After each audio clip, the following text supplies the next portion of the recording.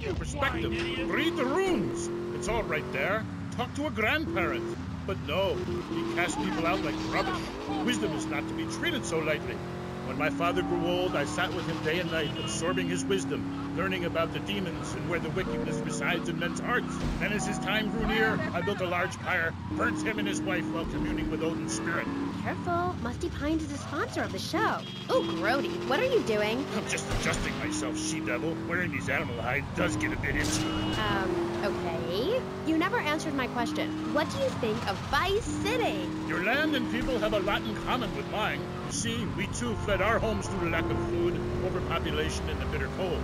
And, mind ye, starting out to raid passing ships is a fine job pillaging these lands. But we should have done something about Canada. Wait a minute there, Buster. My mother's half Canadian. Oh, what are you going to do, wench? Sweep the ice furiously at me? Ha! Socialized medicine? Nah, you did it all wrong. You should have continued to the north and